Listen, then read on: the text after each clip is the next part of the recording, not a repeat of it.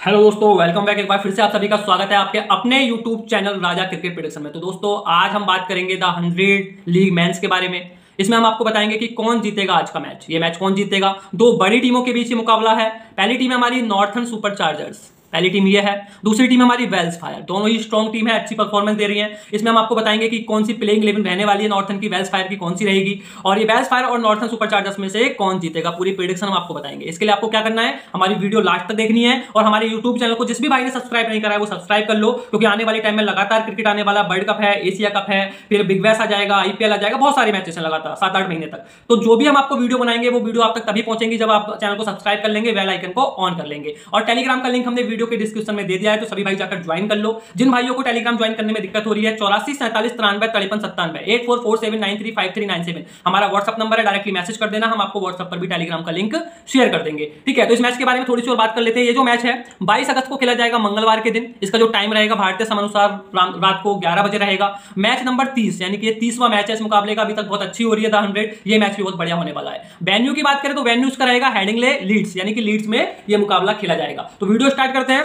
सबसे पहले बात करेंगे हम पिच रिपोर्ट के बारे में, ठीक है ना?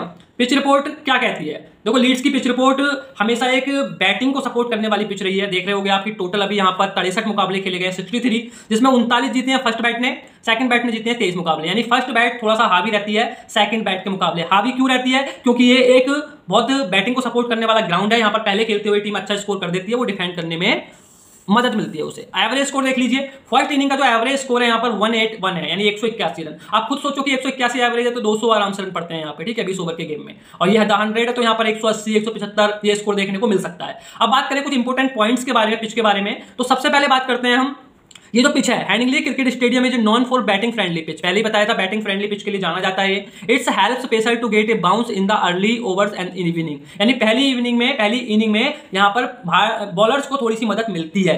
एज द गेम प्रोसेस जैसे जैसे गेम आगे बढ़ेगा as the game progress the pitch becomes more helpful for the batter जैसे जैसे गेम आगे बढ़ेगा स्विंग गेंदबाजों को मिलनी मदद तो बंद हो जाएगी, बिल्कुल बाउंस कम हो जाएगा और ये प्रॉपर बल्लेबाजी के लिए हो जाएगी पिच ठीक है तो जो भी बॉलर यहाँ कुछ कर सकते हैं, वो इनिशियली यानी शुरुआती ओवर में कर सकते हैं। अब बात करते हैं पाँच रिकॉर्ड्स के बारे में। थोड़े से पाँच रिकॉर्ड देख लीजिए। टोटल दोनों ही टीमों के बीच में दो मुकाबले खेले गए हैं बेल्स फायर और नॉर्थन सुपर चार्जर्स के बीच में। बेल्स फायर ने भी एक जीता है और नॉर्थन सुपर चार्जर ने भी एक मुकाबला जीता है। तो मुकाबला इनका बराबरी का ही रहता है। ये नहीं कह सकते कि पुराने रिकॉर्ड बहुत ज़्यादा है, उसके आधार पर हम कुछ लाइक एनालिस कर सकते हैं, नहीं कर सकते हैं। तो मैच बहुत ज़बरदस्त होने वाला है। अब बात करते हैं प्लेइंग इलेवन के बारे में। तो दोनों ही टीमों की प्लेइंग इलेवन देख लीजिए, आपके सामने सबसे पहले हम बात करेंगे नॉर्थन सुपर चार्जर्स की प्लेइंग इलेवन के बारे में। टॉम बॉन्टन है मैथ्यू सॉल्ट है हैरी ब्रूक है एडम हॉस है सैप जैब है डेविड बीचे हैं। इसके बाद बैडन कार्ड से हैं बैन पर ले लें यानी आठ नंबर तक बल्लेबाज है जो बल्ला घुमा लेते हैं प्रॉपर बल्लेबाजी छह सात नंबर तक है इनके पास। ठीक है, एडम लिथ भी है, ये मैंने नीचे लिख दिया इनका नाम, ये भी प्रॉपर बल्लेबाज है। तो सात आठ नंबर तक इनके पास बल्लेबाज है। आदिल रसीद है रीस टोपली है, बैन पल्लेन है बाइडन कर्स है, ये इनके बॉलर है। और डेविड बीजे भी आपने देखा होगा, अपने तीन चार ओवर अच्छे करा देते हैं। तो टीम बहुत मज़बूत है स्ट्रॉन्ग टीम है भाई ये वाली। अब बात करते हैं दूसरी टीम के बारे में। दूसरी टीम हमारी बैल्स फायर स्टीफन स्टेंजाई है, जॉनी बैलेस्टो है जोई क्लार्क है, लुक वेल्स हैं, टॉम अबेल हैं, ग्लेन फिलिक है, यानी छह नंबर तक बल्लेबाज हैं। और डेविड बिली को बहुत ज़्यादा मैं बल्लेबाजी में काउंट करता नहीं हूँ, लेकिन फिर भी ये हिट कर लेते हैं, मार लेते हैं। तो सात नंबर तक काउंट कर लेते हैं बल्लेबाजी इनकी। अब बॉलिंग की बात करें तो रोले बैंड है, मर्व है, अच्छे गेंदबाज है, सिर्फ़ गेंदबाजी की वजह से खिलाती है टीम ने क्योंकि बल्लेबाजी तो इन पर आती नहीं ज़्यादा। साहिन साह अफरीदी है, हैरिस रॉफ है, जैक बेल्स है, ये इनके मैन गेंदबाज हैं, ठीक है ना? तो बहुत अच्छी टीम है दोनों, और दोनों ही टीमें बढ़िया प्रदर्शन कर रही है तो बहुत मज़ा आने वाला है इस मैच में। अब बात करते हैं हम टी प्लेयर्स के बारे में।